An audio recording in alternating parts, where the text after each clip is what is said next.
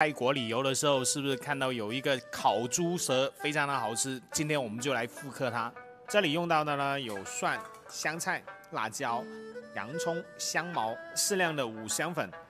一颗腌制好的柠檬，当然如果你没有这个柠檬的话，也可以用新鲜的。第一步，我们先来处理猪舌，一百度的开水里面下入两勺的冷水，让它降温至八十度左右，再下入我们的猪舌。这个温度可以更好去除猪舌里面的苔藓。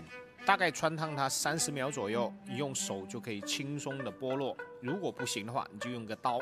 猪舌处理好以后，我们准备一些土柠檬，柠檬里面的籽呢，把它去除掉。刚才所有的小料里面，我们全部把它剁碎。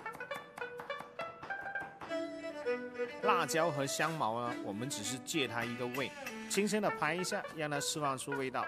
还有香茅，我们把它切碎。现在我们来揉搓小料，让它出汁水。倒入我们的五香粉，下入适量的盐、糖，糖味稍微多一点点，再给入一些酒。还有适量的鱼露提鲜，如果没有的话，也可以不放一点点的酱油让它调色。等一下在烤制的时候会变通红。把猪舌再进行一个修整处理，现切下来呢，这是猪天梯里面的牙齿。我个人觉得它是整个猪里面最好吃的一个部分。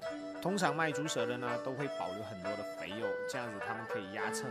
其实对于这一道菜来说，我们不需要把它去除掉，再把猪舌进行一个改刀，让它等一下在腌制的时候更加的入味。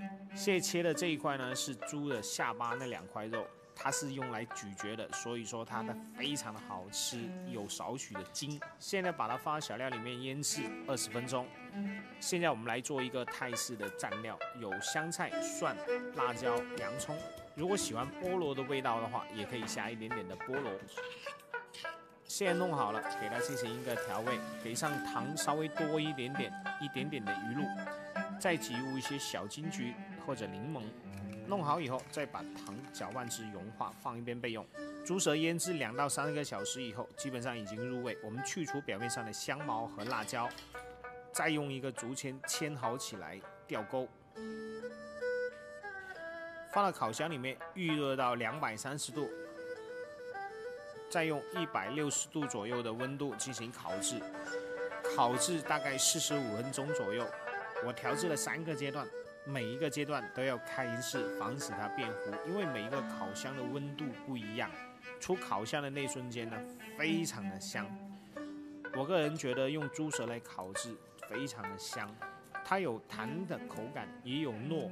也有香，也有绵，真的是一条猪舌可以吃出几种口感。最后呢，我们再配上一点菠萝进行解腻，先尝一块原味的，再夹一块菠萝一起吃，非常有特色、有风味的一道烤猪舌。喜欢的帮忙点赞、收藏、转发，谢谢大家观看。